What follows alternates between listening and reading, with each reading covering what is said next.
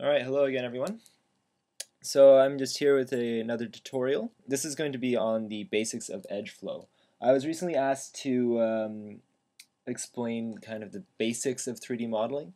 Originally I thought I would talk about um, using 3D software and kind of the basic tools that you can use like the extrude tool or the cut faces tool or something like that. Um, but that's something that I find is very easy to learn. Uh, there's lots of other videos online and there's tons of information of that already. So instead I thought I would talk about the basics of edge flow and how to make a 3D mesh in an optimal way.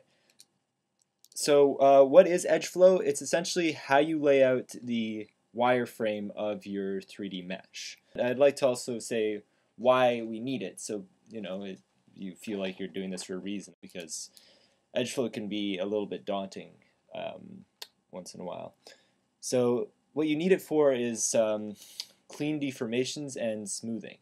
Uh, for instance, when an object is like or a, a 3D character is animating, you have to have proper topology so that the limbs will move accordingly. Or sorry, they'll move and they also won't crumple in weird ways. Or if you're smoothing an object, it has to maintain its form when it's smooth. So the first thing I want to talk about is, uh, or show, is a um, what is an edge loop and also I want to talk about contours. I'll start with contours. So here is how uh, you have, or here's kind of an idea of edge flow. For instance, on the cylinder, you have um, rings that wrap around the cylinder. So you don't end up with uh, you know weird lines that are going in all weird places. Like there's a triangle here or something weird like that. No you want to actually follow the form. For instance in this object here's the basic geometry. And here is extra cuts that kind of follow the shape of the object. Which gets me into edge loops, which I mentioned a little too early, um, which are um, here is an edge loop. All right, so the, the rings around um, around the eye or the mouth, or basically the different objects. You could actually see it in my contours. Um, like this is an edge loop. Um, essentially, you you need those for proper deformation. Uh, for instance, if the mouth were to open, um, you'd have these kind of squished together and stretch out kind of thing. Uh, if if it didn't follow the follow the mouth, it would crumple and you'd maybe get like some weird creases when the mouth opens and closes. Um, a better example of that would be with this arm.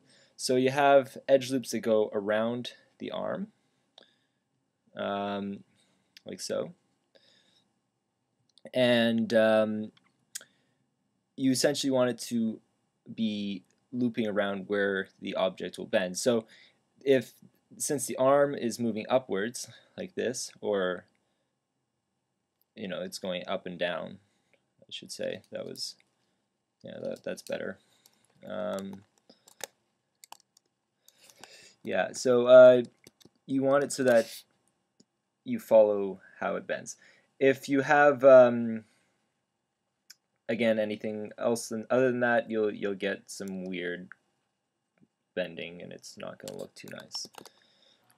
You know, one other thing I wanted to mention that I forgot to mention at the beginning was about what an edge loop is and what is not an edge loop.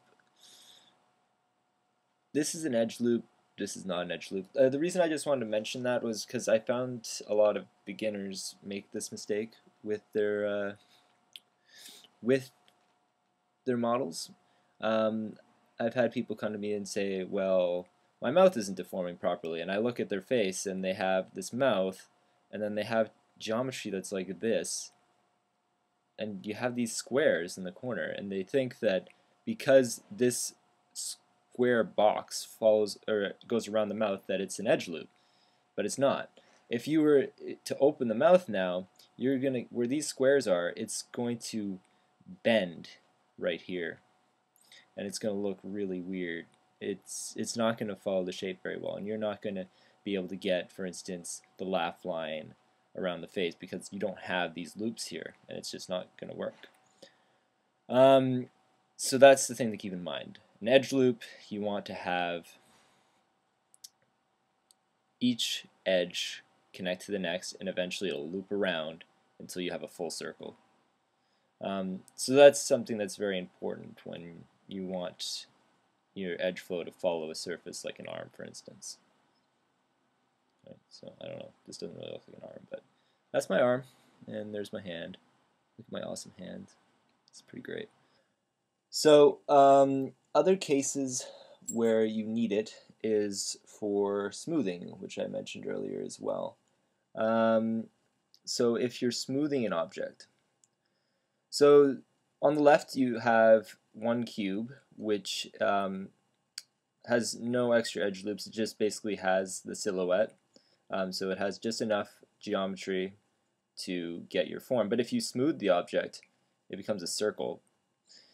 The reason for this is that um, it's just it's just how the smoothing interpolates. You can do like a linear smoothing, but um, if you want to do like a proper clean smoothing, it's gonna give you kind of like a, curve. Um, so what you do is you add extra cuts. Now, one thing to be aware of um, is it you can do this and it'll get you, you know, a nice surface, right? It's now the cube that you want. You got some, you know, nice, slightly smooth edges as opposed to completely sharp, which is unrealistic, which is what you would have if you had not smoothed it. Um, however, you'll notice that this section has spaced out a lot. Um, I'm going to grab a darker color here. Yeah, so this is spaced out a lot. You don't want that because um, say you have a texture on it. Uh, the texture information will originally say, okay, I'm applying part of your image here, which is originally a small space, but as soon as you smooth it, um, you'll get some stretching going on because the texture that was meant to be in a small area will now be spaced out a lot further. So you'll often have to do is you add extra cuts in your geometry so that it'll prevent it from uh, from stretching too much.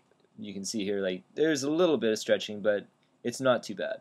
And this is this should be decent. Normally you'd have your main edge loop that follows your geometry and then you have one that's kind of closer and then one in the middle. Like that. Um, another thing to keep in mind other than just contours is anatomy. Um, when you're doing a human character for instance or an animal or a creature or something like that in this example here uh, we need to have loops around things that move right? So you have to have the loop that goes around the mouth um, so that you can have it open and closed or the jaw stretching or the eyes blinking or things like that.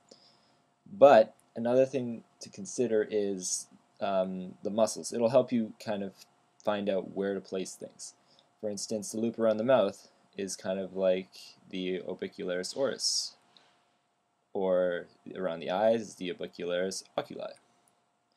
Um, now you also have the muscles that are going along the cheek. And you'll notice in, in the mesh, you have a very similar thing here where it follows that muscle. So all those lines are going in that direction. At the same time, you have to know which muscles you want to consider and which you don't, depending on the style of your character. For instance, if we look at an arm. Now, ideally, like I said earlier, you want to follow the muscle structure. So if it's a more realistic character, um, you'll you'll say, okay, I want to um, follow the, uh, the muscles here, and you know, follow the pecs and you know, follow the biceps and the triceps, right? And then you have the flow that kind of goes like this. If you're making like a real, really realistic character, you want to follow the muscles because if you're, if you're like, if you were to bend your arm, um, this muscle would bulge, for example, and you know, you'd get more creasing, and you can get that creasing in your geometry um, with with like edge that follows those muscles. However, it's not uncommon just to see it goes straight down like this and you just have your edge loops like this on a cartoon-like character because you simplify it. There's still enough for, you know, bulging, but you're not going to get like this muscle interacting with this muscle. So those are just things to consider when you're building topology of your mesh. The next thing I wanted to mention were triangles, and uh, you'll often hear the first, like when you're first learning about topology or modeling, uh, you should avoid triangles completely. Um, which in a lot of cases you want to avoid triangles, um, but not always.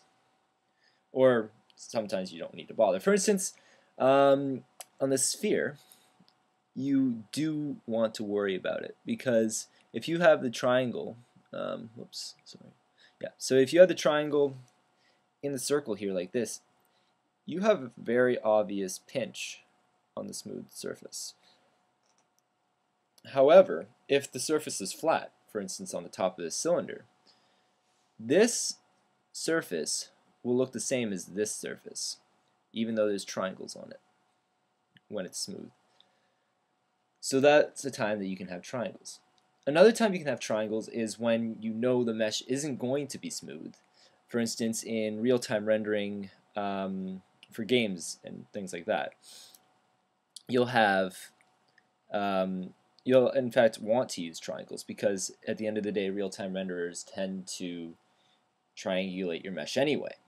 Um, so the ideal thing is to have um, to use triangles to get the silhouette that you want. So the in in those cases you just want to get your outside form, like I had mentioned at the beginning, where you just have very minimalistic um, edges in my contours here. This first block.